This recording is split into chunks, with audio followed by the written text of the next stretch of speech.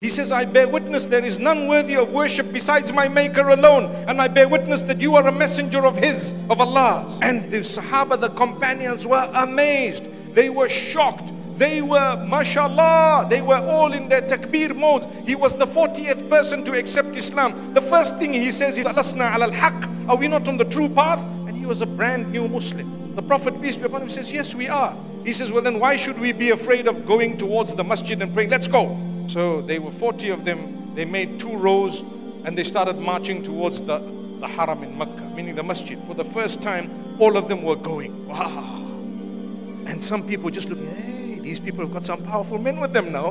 We, we can't even harm them. There was Hamza ibn Abdul Muttalib at the front of one of those rows, and here's Umar walking in front of the other one with his sword. Who's going to dare touch them? What happened? They were strengthened. So, what happened? The prayer of the Prophet of goodness for an enemy worked.